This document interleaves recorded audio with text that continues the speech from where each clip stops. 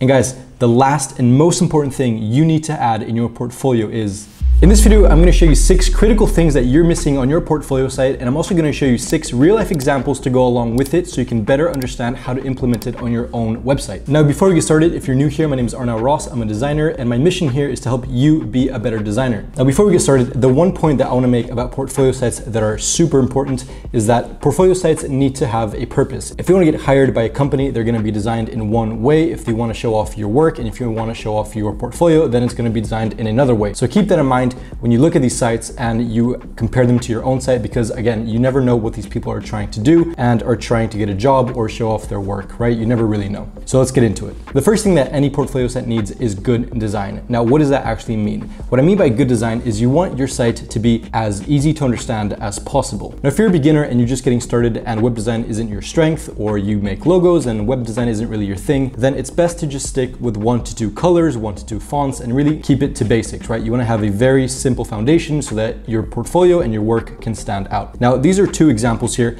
that create this effect very well. So this is madisenfedo.design, and this website here only has two main colors. It's got this dark gray or even black if you wanna call it, and then this off-white beige color here in the background. And again, it only has one to two fonts. It's got this font that almost looks like it's Helvetica. And again, it lets the portfolio or the work speak for itself. It doesn't have hundreds of animations coming in. It doesn't have all these super fancy, flashy things. It's a very simple website that showcases her work very well. And again, it only has one to two fonts. It only has one color. And so this person has mastered those two things and created a very simple, clean website. Now the next site here is ivettefelixuy.com. And if I reload the site here, you'll see this very simple and clean animation of this lemon here that bounces in. And we'll go over that later on in the video because it's also very important. But this website also showcases those traits of a very clean and minimal website. So this person has one to two fonts here. They've got one to two colors here and they let the work speak for themselves. The animation, the only animation that exists on this scroll is this fade in that almost helps the user learn what the next project is about. It's not this dramatic experience that will confuse you or will confuse the users. It's a very simple, clean website.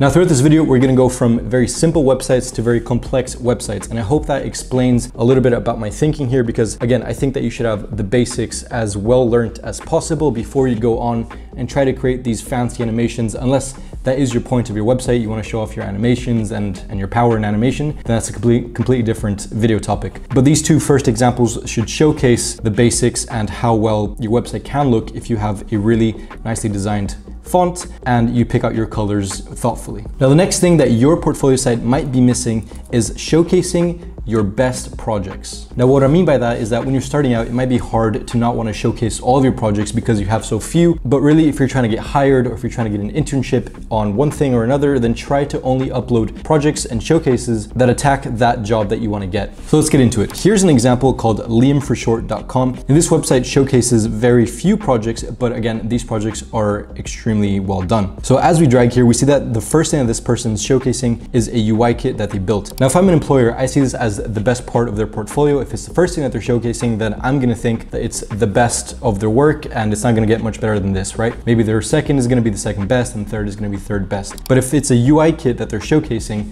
then I wanna pay attention to that. Now, as we scroll here and as we drag, we see that they go from a UI kit to a web app to then a rebrand. Now, I wanted to showcase this website as well because it almost showcases things that you almost shouldn't do. So if I wanna get hired for designing web apps or UI kits, then I should only showcase that. But it doesn't make sense to be putting rebrands on the end here because it's not necessarily related to too much. Now, something this person could have done is having one section for UI components or UI kits and websites, and then another section just for rebrands and just for, for logos and more graphic design related things. Now, even if this person is talented with both things, it's important to not mix them up because as an employer, they might get confused. But again, if the person's purpose here is to just showcase all of their work, then ignore everything I'm saying and then everything will be okay. But if the person is trying to get a job for branding or for, for doing rebrands, then it might not make sense to add it as the last project. Now, a website that does this very well is lise.cool. So Lise Kyle Chapman is a multidisciplinary product designer enjoying the trees in the Pacific Northwest. So this person has three projects and only three projects, but when you go into these projects, they're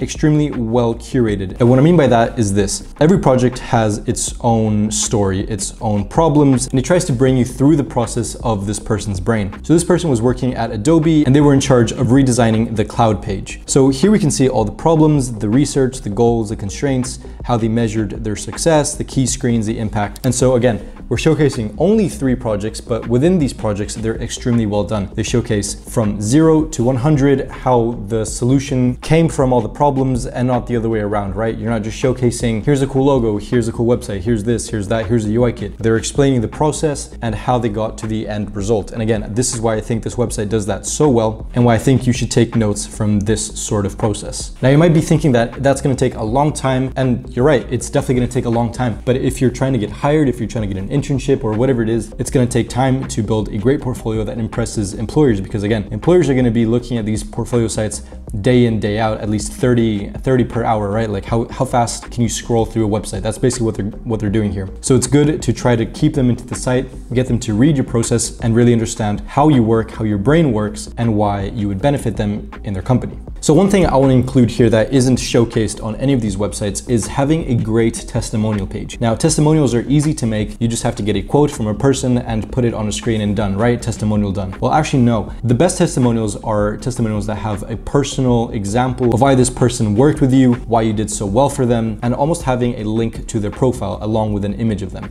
That'll create a more personable testimonial that people can relate to rather than just a piece of text on a screen. Now, another thing I want to showcase on this website is a great call to action. Now, the more clear your call to action is, the more the people you're trying to reach will understand that that message is for them. So if we scroll down here on this lise.cool, we see that there's this footer here. Let's work together, currently looking for lead and senior positions at design-led, empathy-driven companies. So this person is looking for a very specific job. She knows exactly who she's trying to reach, and by adding this in the footer, this is her CTA. Now granted, this could be made a little bit better, having a better CTA here, like maybe an email form, but she does link her, her email, her resume, her LinkedIn, and so that, that does kind of work well for her. But I would almost suggest having a Calendly link directly embedded in your site. And that's easily done with Webflow. I'm not sure with WordPress or other sites, but that's easily done. And that'll just generate a very simple and quick way for people to reach you whenever they want to reach you. The most important thing you need to add in your portfolio website is showcasing your personality. Now, this is something that not a lot of people do when they build their portfolios, and that's a big mistake. Now, a lot of people use their portfolios as a way to showcase their projects and their work,